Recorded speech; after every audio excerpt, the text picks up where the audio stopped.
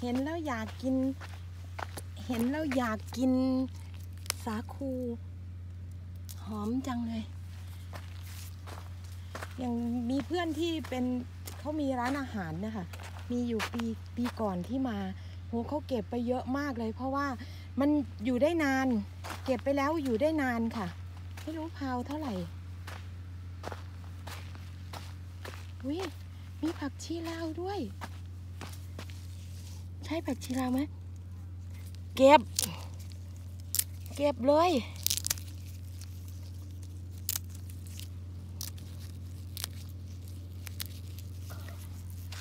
โอ้โห ได้เก็บผักชีลาวแล้ว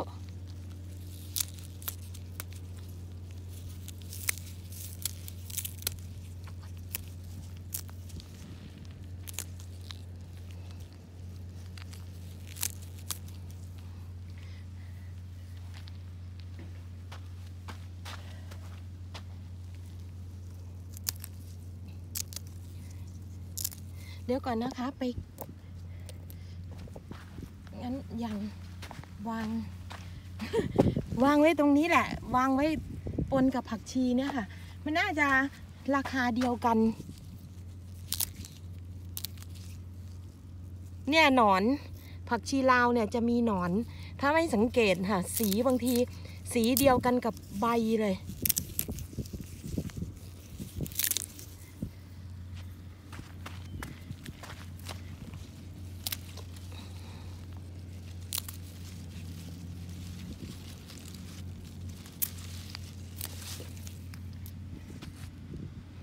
นั่นน่าจะเป็นผักกาดหัว เขาปลูกไม่เยอะนะผักชีลาวอะค่ะ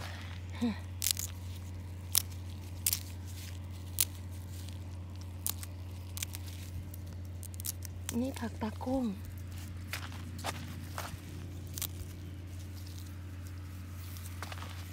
อุ้ยโอ้หนอนตัวเบล่มเลยอะ โอ้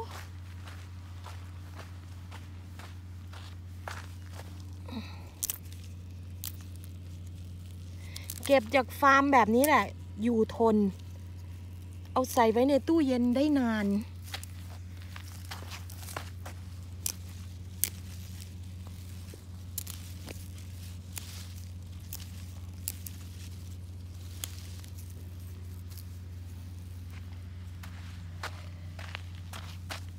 โอ้ยหนอน ดูค่ะหนอนน่ะ นั่นน่ะ น่ากลัว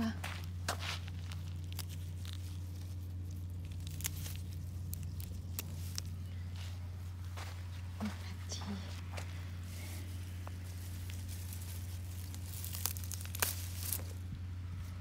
ไม่รู้ อันตรายหรือเปล่ามันจะอยู่ใกล้กับแปลงมะเขือเทศค่ะเขาหืยังได้กลิ่นเหมือนยาฆ่าแมลงเลยเขาจะติดป้ายห้ามเก็บตรงนั้น แต่ตรงผักชีนี้เขาไม่ได้ติดป้ายค่ะ แต่มันจะได้กลิ่นแล้วที่พ่นอยู่นะก็ไม่ใช่ว่าเป็นยาฆ่าแมลงนะโอ้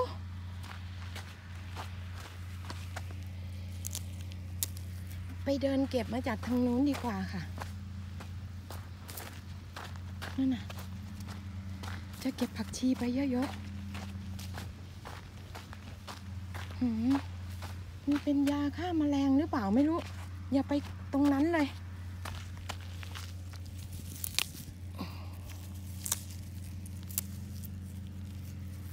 ที่เขาขายนะคะ ประมาณเนี้ยเกือบสามเหรียญนะแพงนะผักชีลาวอะ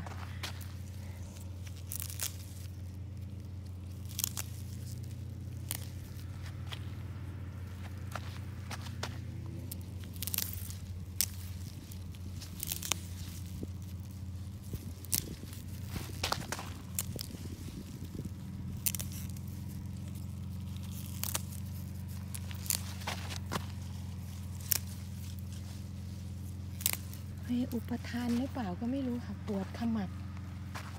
เพราะมันเป็นกลิ่นเหมือนเหมือนยาฆ่าแมลงที่เขาพ่นอยู่น่ะ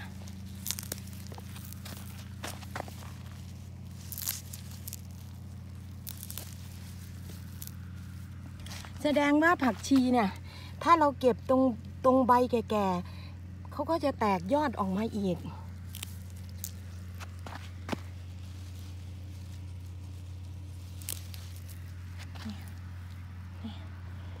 มื่อกี้เอาไปวางไว้ตรงไหนก็ไม่รู้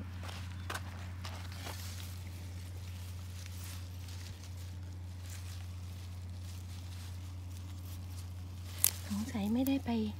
ไม่ได้ไปเดินหาเห็ดหรอกค่ะ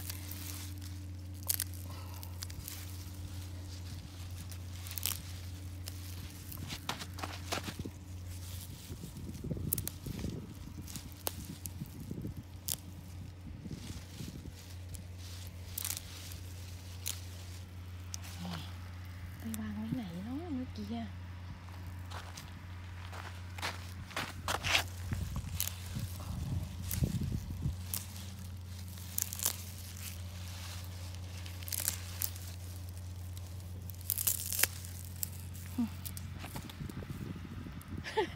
จำไม่ได้แล้วค่ะ ไปวางไว้ไหนก็ไม่รู้ เนี่ยผักชีแบบเนี้ย สีแบบเนี้ยจะหอม ผักชีจีนนะคะ เนี่ยถ้าเป็นสีก้านม่วงๆอะอุ้ยหนอนดูหนอนอู้ตัวเบ้อล่มเลย เมื่อปีก่อน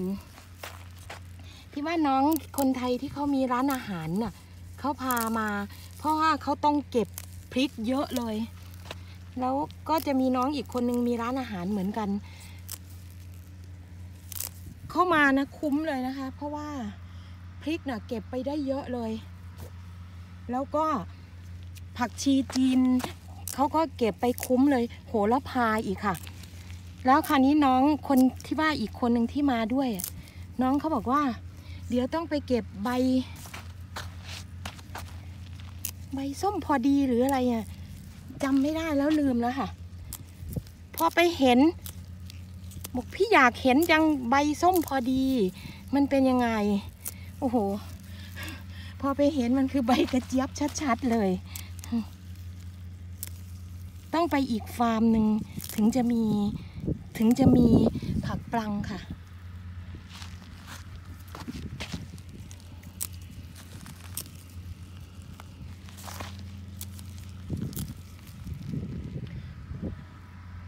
ไม่เจอแล้วผักชีที่เก็บแล้วเอาวางไว้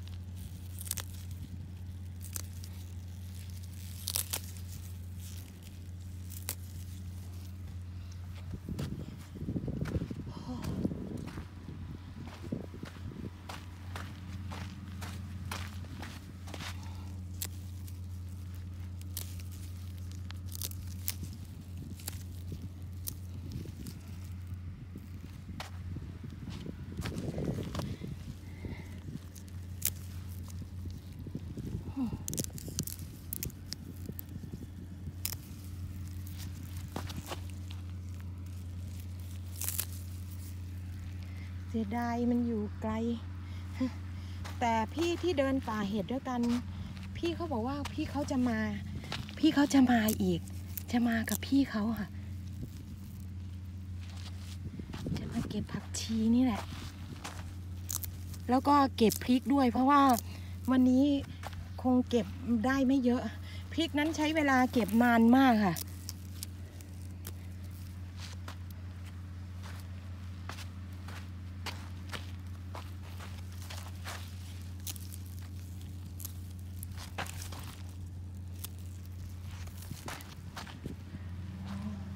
สงสัยนั่น หล่นเลย โอ้หล่นลงดินซะแล้วอะ เอาลักแร้หนีบไว้นะคะเนี่ย เพราะว่าไม่อยากตัดคลิป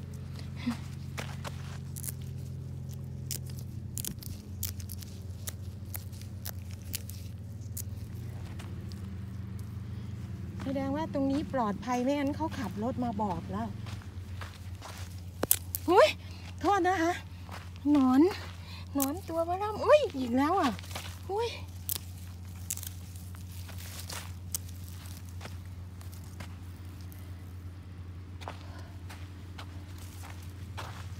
ไม่ เจอจริง ๆ นี่เจอแล้ว นี่ นี่ไง อันนี้หนอนหรือเปล่าเนี่ยค่ะ ใช่ ไหนลองดมดูอีกทีดิอืม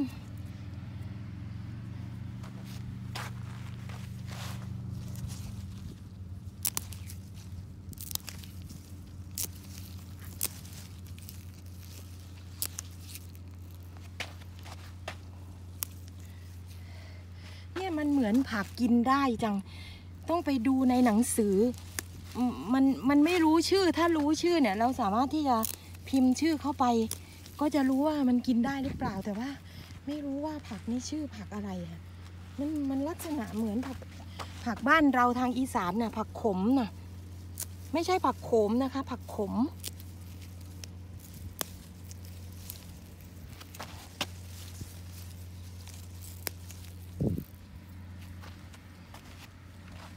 ดูตาโก้งงามงาม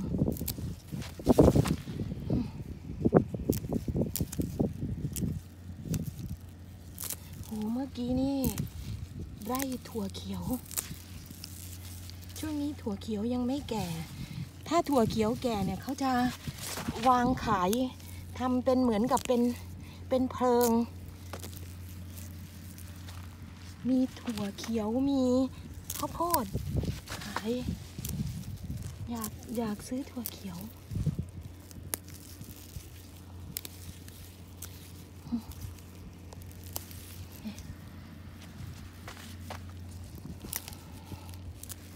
ไม่รู้ว่ามันราคาเดียวกันหรือเปล่าค่ะ ผักชีจีนนะคะ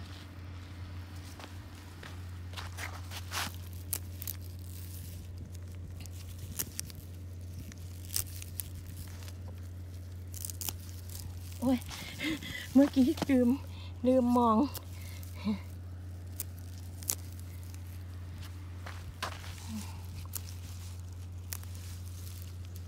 ปลูกง่ายผักชีลาวน่ะ นี่มันเหมือนผักกาด มันจะต้องเป็นผักกาด เหมือนเลยเนี่ยค่ะ ผักหลายอย่างที่ไม่รู้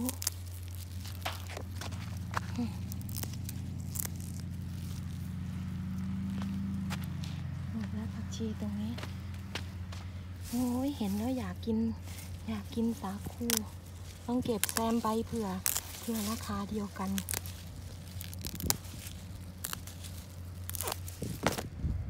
หอม อืมหอมเนี่ยงาม สงสารหมาน้อยอยู่ในรถ ลิ้น ลิ้นห้อยเลยไม่กล้าเอาลงมา เพราะว่ามัน โอ้ไม่ได้ไม่ได้ตรงเนี้ยกลิ่นยาฆ่ามาแมลงมาจากแปลงมะเขือเทศค่ะนู่นคนเก็บผักอยู่ตรงนู้น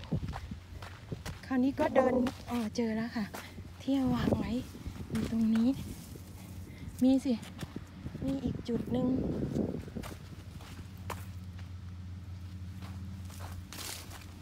นี่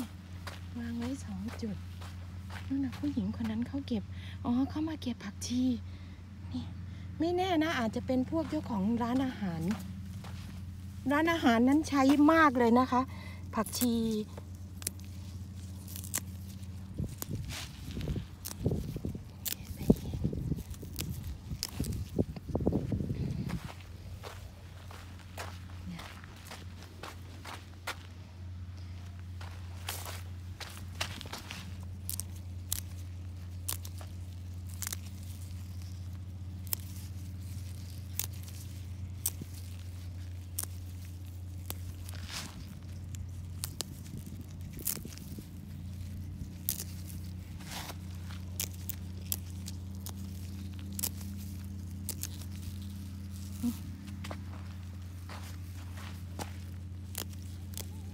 ดินทรายนะเนี่ย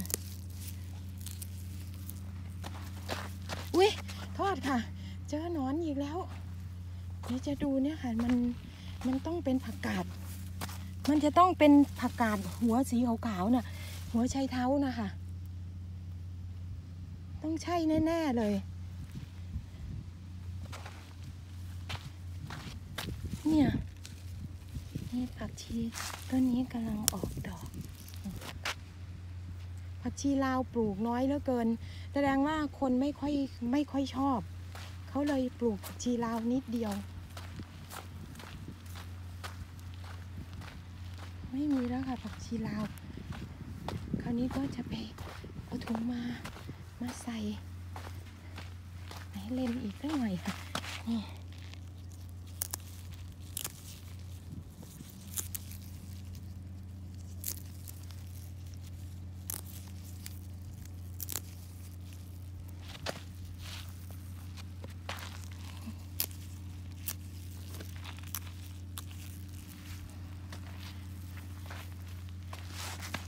เสียดายผักกาดหอมป่าช่วงเนี้ย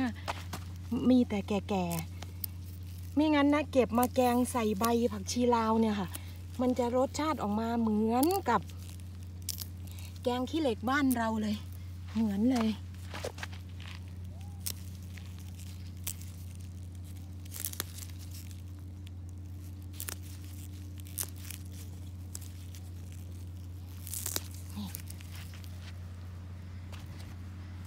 พอแล้วค่ะ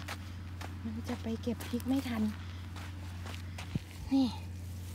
แค่เนี้ยน่าจะประมาณสองพาวค่ะ ก็จะไปเดินไปเอาถุงมาใส่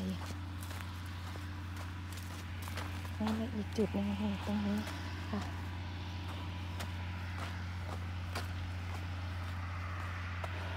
ไว้พบกันใหม่